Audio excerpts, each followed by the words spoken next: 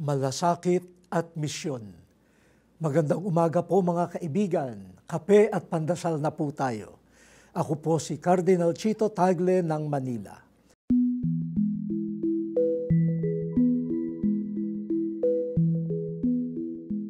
Kapistahan po ngayon ni San Francisco Javier, isang Heswita at patron ng misyon.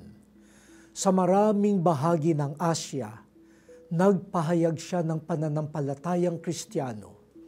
Iniwan ang mas komportabling buhay sa Europa, sumuong sa mapanganib na biyahe, nakipamuhay sa mga taong ibang lahi, lingwahe, pagkain at kultura.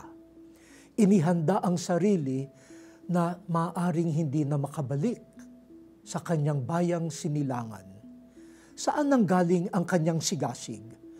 O baka naman, medyo baliw siya. O kaya'y may tinatakasan. Sa kanyang mga liham, matutuklasan natin ang sikreto. Malasakit sa kapwa. Ibig niyang makilala nila si Jesus. Si Jesus ang pinakamagandang regalo niya sa kanila. At para sa kanilang kaligtasan, susuungin niya ang lahat dahil sa pag-ibig niya kay Jesus, walang hanggan ang kanyang pagsusumikap.